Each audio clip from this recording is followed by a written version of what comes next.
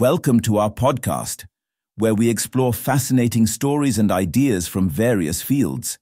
In this episode, we explore how genetically engineered mosquitoes with toxic semen could help combat disease spread.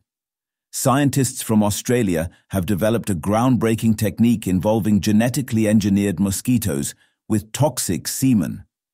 This method could serve as a new weapon against the spread of diseases like malaria and dengue fever.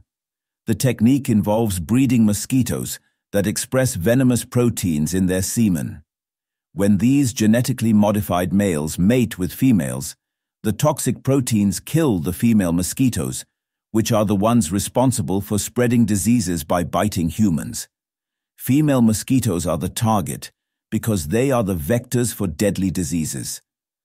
This innovative solution could transform how we manage pests, offering hope for healthier communities and a more sustainable future, said Sam Beach, a scientist from Macquarie University.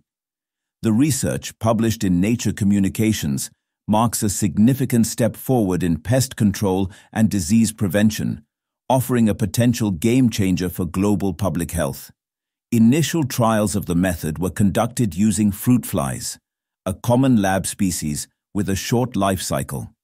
In these trials, female flies that mated with the toxic males had significantly reduced lifespans.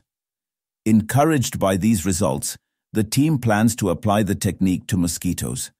However, safety testing is crucial before releasing genetically modified mosquitoes into the wild.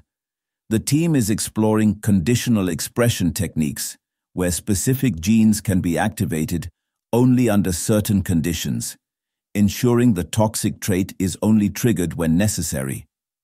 Mosquitoes are responsible for millions of deaths each year, primarily from malaria, dengue fever, and other viruses like Eastern equine encephalitis.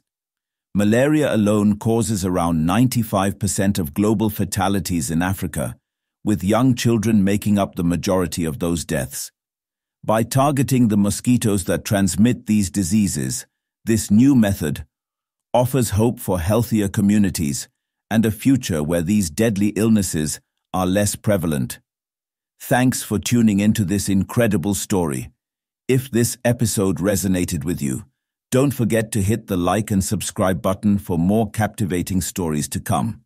Stay tuned.